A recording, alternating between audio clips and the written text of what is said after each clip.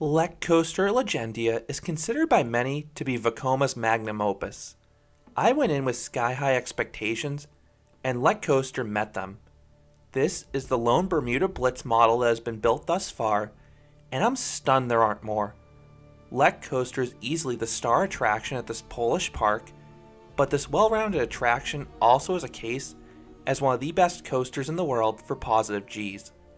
Lech Coaster is a grey out machine, and in this video, I will explain why this coaster is as good as its reputation suggests. In the mid 2010s, Vekoma's reputation performed a complete 180 amongst coaster enthusiasts. This Dutch manufacturer was often criticized for cloning rough and or lackluster coasters, but they had two major developments that triggered a new age for the company. First, Vekoma dramatically improved their track manufacturing capabilities. The days of rough Vekomas are gone. Their new rides are smooth as glass. Second, Vekoma hired an innovative designer in Benjamin Bloemendal. Vekoma was still designing layouts that could be cloned, but their new layouts would be much more dynamic rides, combining fast pacing, inversions, and airtime into one complete package. The first, next generation Vekoma Thrill Coaster was actually located only an hour away from Legendia at the newly opened Energylandia. Formula opened in 2016, and this was a short but sweet coaster. I have a separate review going into more detail, but Formula showed what new Vekoma was capable of. And just one year later, they built something far more extreme at Legendia and Lech Coaster. This Bermuda Blitz model would forego the launch. Instead, Lech Coaster stands 131 feet, or 40 meters tall, and it features a crazy, twisting, beyond vertical drop. Beyond vertical drops are always imposing, but adding a twist takes it to an all new level. The black paint scheme looks menacing, and I love this coaster's placement on the back edge of the lagoon. The ride is perfectly centered with the park's main street, and you can get some amazing vantage points of this coaster no matter where you are in the park. Then, when you get close to this beast, there are pathways going under and around it. Beyond the coaster itself looking great, the area around the attraction is very well landscaped, and the coaster has some light theming. The Q Lion Station are housed in a themed building. Now, I believe there's supposed to be a pre show, but unfortunately, it's not being used the day I visited so I didn't quite get the background on this coaster's story and theming, but from what I understand it involves the history of Poland and birds. Once you reach the station, you will find a train seating 20 riders across 5 cars. The coaster has Vekoma's vest restraints. While they are more restrictive than the restraints at Intamin's newest looping coasters, they're still very comfortable, and the straps have some give to them so they don't inhibit the airtime much at all. The park owns two trains but only one was in use on the summer weekend day I visited, and that seems suitable given the crowd levels. The ride was a complete walk on for the first hour. In fact, there were so few people riding Lech Coaster initially that the operators were deliberately waiting 10 to 15 minutes in between dispatches, hoping more people would show up. Once Lech Coaster formed a line by the afternoon, it was posting roughly a 20 minute wait at its peak. The operations went from deliberately glacial to pretty fast. I ended up splurging for the unlimited fast pass since it was only 15 US dollars and it got me on the next train each time. This allowed me to marathon this coaster, and it was a pretty demanding coaster to ride given the forces it exerts. In terms of seat selection, I liked the back row the best.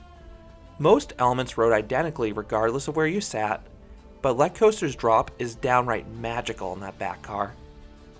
Once dispatched, you head towards the surprisingly steep lift hill. It starts slow, but it rapidly picks up the pace. This leads to the train being absolutely thrown over the first drop. The ridiculously steep angle, combined with a twist, results in a powerful combination of great ejector airtime and violent laterals simultaneously. The drop reminded me of Expedition G-Force. Towards the front, you won't get the same laterals, but you will still get some floater airtime because of how extreme that angle of descent is. But again, you want to experience this drop in the back. That is the best spot to experience one of the world's best drops. The pullout charges through some rock work, but I'm going to be honest, I don't recall seeing that on any of my rides. That is because I always lost my vision.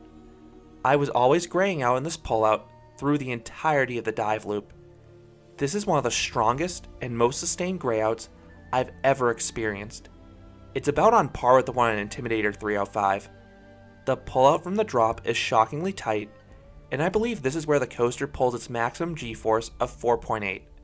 That is an impressive figure on its own, but the fact that Lech Coaster sustains it through the following inversion, and that inversion's pullout, is what makes it special.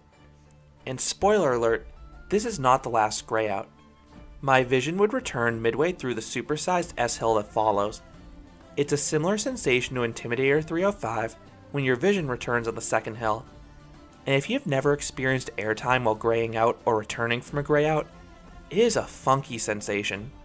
Everything feels fuzzy, and the weightlessness is super disorienting. And that's especially the case here because the S-hill gives strong airtime too. It's good ejector airtime throughout the whole train. That's followed by another forceful low turn that nearly caused me to see some gray again. You then fly over a giant camelback. This hill has a super sharp crest, and it delivers sustained airtime in all rows. Those up front get strong floater airtime, while those in the back get decent ejector airtime. Instead of dropping back down to the ground, you instead level off early and then you charge through the station. But unlike those station flybys and GCIs that are simple straight track, Vekoma took a page from Intamin's playbook and placed an inversion above the load platform. It really gets you hyped up for your ride while waiting in the station, and it's downright crazy on ride. The element starts like a flat inline twist before twisting downwards like a traditional corkscrew. Whatever this maneuver may be called, is fantastic. You have so much speed through it, and you are abruptly whipped 360 degrees. And it is extremely disorienting too from the near misses with the station building. There is not much clearance here. Lech Coaster then returns to the positive G's. The pullout from the corkscrew pulls some intense positive G's, and they're sustained through the following overbank that's super compact. This was another section on the ride where I'd get a sustained grayout each time.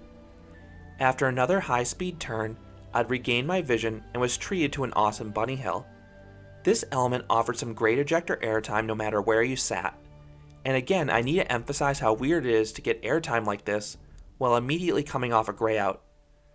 The bunny hill shoots under the brake run in one of the few near misses you can actually appreciate before ripping through the ride's third and final inversion, a corkscrew.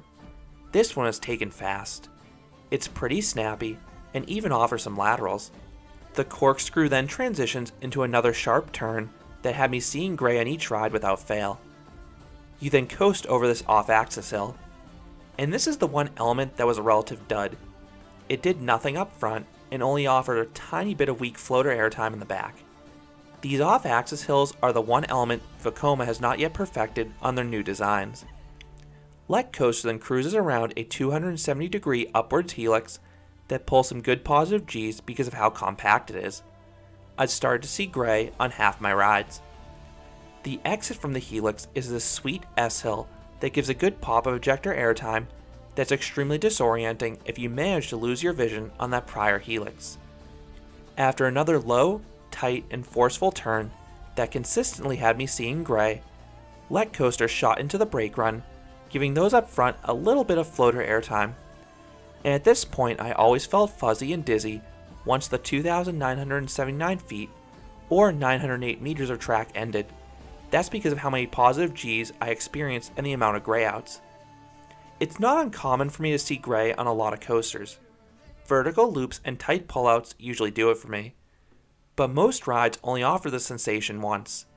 Lech Coaster did a whopping six times, at least.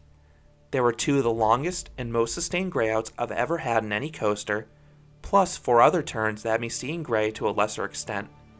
The amount of positive G's this coaster pulls is crazy. It is without a doubt one of the most intense coasters I've ever ridden. And I wonder if this is why there aren't more Bermuda Blitz coasters out there. Even their new Shockwave coaster in Abyssus at Energylandia did not pull positive G's like this. So what would I rate Lech Coaster? I would give this coaster a perfect 10 out of 10. This coaster is phenomenal. The layout and pacing are near perfect. Really, the only weak moment in the entire experience is that aforementioned off-axis hill. Every other element and transition is incredible. The way Lech Coaster transitions between ejector airtime, crushing positive G's, and snappy inversions is a balance few coasters have ever been able to attain. Lech Coaster raced similarly to Intimidator 305 for me. Both rides feel like they'll kill you with the positive G's. Lech Coaster is a borderline top 25 steel coaster for me because of its sheer intensity and varied layout. I really hope something like this comes to America in the future. So those are my thoughts on Lech Coaster, the awesome Bermuda Blitz coaster at Legendia. What are your thoughts on this forceful coaster? Are you excited for the future of Vekoma? I would love to hear your thoughts down in the comments. If you enjoyed this review, I'd appreciate it if you gave this video a like, and you considered subscribing, because there'll be a lot more roller coaster music park videos here at Canobie Coaster. Thanks for watching.